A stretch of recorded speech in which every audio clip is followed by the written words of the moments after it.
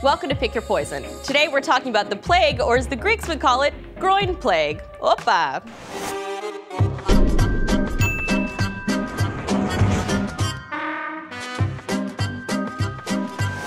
Term bubonic plague is derived from the Greek word bubon, which translates to groin. And yes, that means 25 million people died in the 14th century from the plague, and the Greeks went around calling it groin plague. Way to keep it classy, Greece. But much like 90% of the Greek yogurts on the market, the name is a lie. It may say groin plague on your death certificate, but it was probably just regular old plague that killed you. Plague is caused by the bacterium Yersinia pestis, and bubonic plague is just one type of that disease. There's also septicemic and pneumonic plague. Each one attacks different parts of your body, but we're getting way ahead of ourselves. You most likely got the plague from a flea that had recently bitten a plague infected rat, squirrel, or other rodent. Man, you have weird bedfellows. There's also a chance that you got the plague from direct contact with plague infected fluid or tissue from a sick or dead animal. Seriously, you should start hanging out with people. There's also a very slim chance that you got the plague from inhaling infected respiratory droplets from a sick and dying human or cat. Damn it, you are way too slutty to keep on living, girl. Who kisses a dying cat?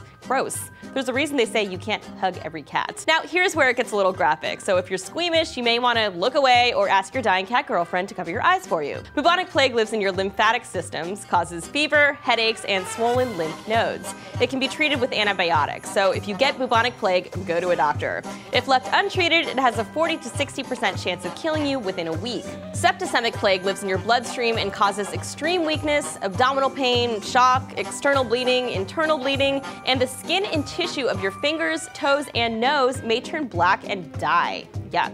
It can be treated and you should have it treated. If you don't, there's a 99% chance that you'll be dead within three or four days.